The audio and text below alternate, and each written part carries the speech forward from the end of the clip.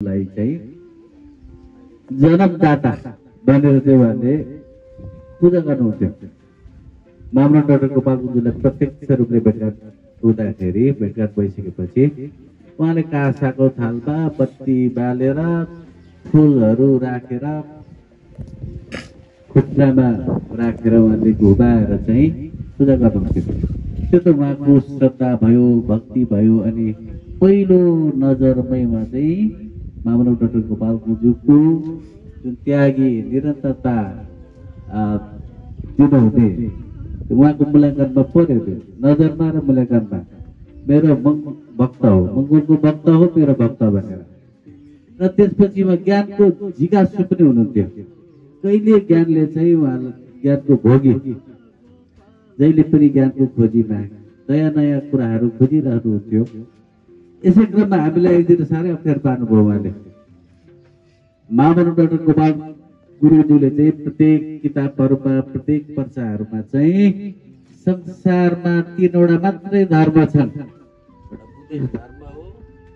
एउटा क्रिस्चियन हो र अर्को चाहिँ इस्लाम धर्म हो र यो सिख र जैन पनि धर्म नै हो तर यो चाहिँ ग्लोबलाइज हुन सकेन एउटै समुदायमा सीमित भएर बसेको यो चाहिँ धर्म होइन ए यो चाहिँ धर्म त धर्म हो।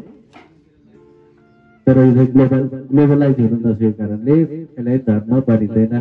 धर्म चाहिँ संसारमा यही र बुद्धिस्ट मात्रै हो भनेर लेख्नु पर्थ्यो। र यसै क्रममा उहाँले चाहिँ हामीले साह्रै अप्ठ्यारो पार्नुभयो। हाम्रो जिल्ला सभामा।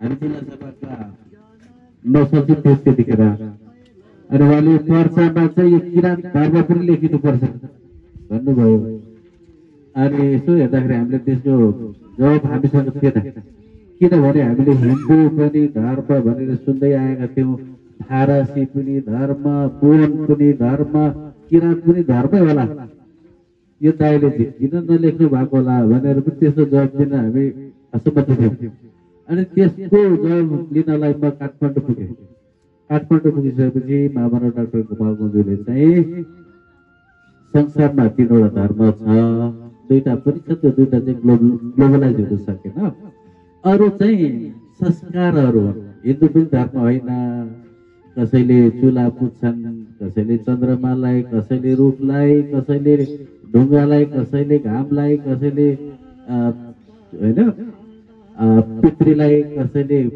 कुललाई पुज्छन् त्यो सब संस्कार हो भाइ त्यो धर्म होइन भनेर उहाँले भन्नुभयो जस्तै अरब कन्ट्रीमा त्यही थियो अरे सबै कसैले पितृ पुज्ने कसैले ढुङ्गा पुज्ने कसैले कुल पुज्ने त्यसलाई सबैलाई चाहिँ एकट्ठा गरेर नष्ट गरेर चाहिँ इस्लाम धर्म चाहिँ मोहम्मद पैगम्बरले यसरी बनाएको र हाम्रो पनि त्यो धर्म होइन त्यो सबै संस्कार हो भनेर भन्नुभयो।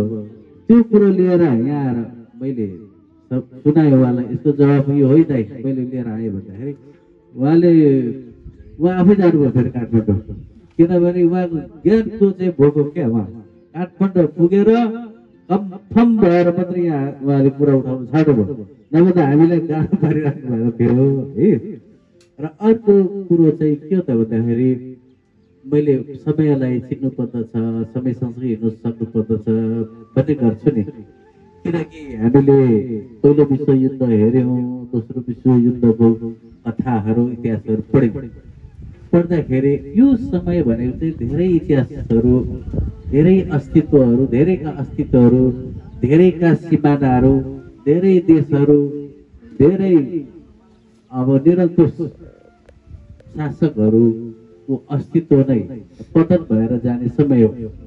यतिखेर हामीले चाहिँ हाम्रो दर्शन र सिद्धान्तलाई हाम्रो अग्रजहरूलाई हाम्रो कार्यक्रमहरू छन् हामीले देशव्यापी रूपमा हाम्रो दर्शन सिद्धान्त झन्डा पुऱ्याउनको लागि हामीले चाहिँ कार्यालयहरू बनाएर त्यसमा हामीले पुस्तकालय बनाउनु पर्छ भनेर चाहिँ मैले त्यो अभियानकै रूपमा अगाडि बढाउनुको कारण थियो अहिले यो यो भिडभाडमा यो कोलाहलमा चाहिँ के हुन्छ त भन्दाखेरि हाम्रो अग्रजहरूको होइन, त्याग तपस्याहरू सबै हराउँछ।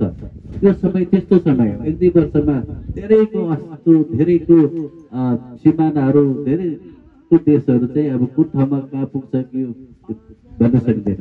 त्यो दोस्रो विश्वयुद्ध हेर्दाखेरि हामीले के बुझ्छौँ त भन्दाखेरि हाम्रो सिमाना मेचीदेखि नागकालीमा कायम हुन पुग्यो होइन?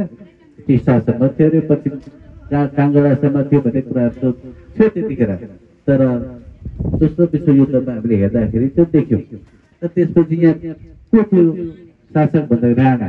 राणाहरूको अस्तित्व नै खतम भएर पतन भएर गयो. र त्यसपछि हामीले हिटलरको पुरा इतिहास पढ्छौँ मुसोलिनीको पढ्छौँ पैँतालिसमै उनीहरू खतम भएको दोस्रो विश्वयुद्धमै खतम भएर गएको यसरी मेरो देशमा कहिले पनि घाम अस्ताउँदैन भन्ने ब्रिटिस शासकहरूको के भयो त यस यस कारणले होइन त्यसपछि नयाँ देशहरू उदायो पाकिस्तान उदायो होइन?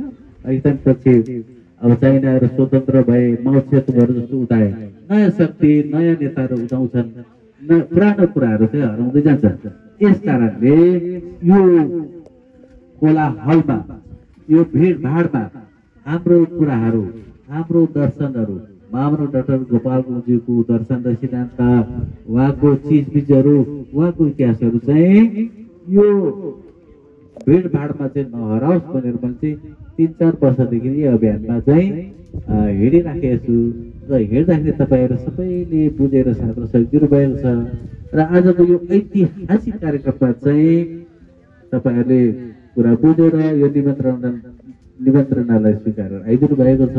त्यसको लागि धेरै धेरै धन्यवाद। र यहाँ यस्तो व्यवस्थापन गर्ने छ नि खाजा भुजाको व्यवस्थापन गर्ने साथीहरूलाई झन् धेरै धेरै धन्यवाद। र हाम्रा आदरणीय दाई दाईलाई पनि हामी यसरी भेला भएर आयौँ। तपाईँको जन्म दिवस मनाउनको लागि तपाईँहरूले पनि केही शब्द बोल्नुहुन्छ कि के धन्यवाद मात्रै दिनुहुन्छ दिएर चाहिँ विसर्जन गरिदिनुहोस् यो तपाईँले मिलाइदिनु सबैजनालाई धन्यवाद छ है जय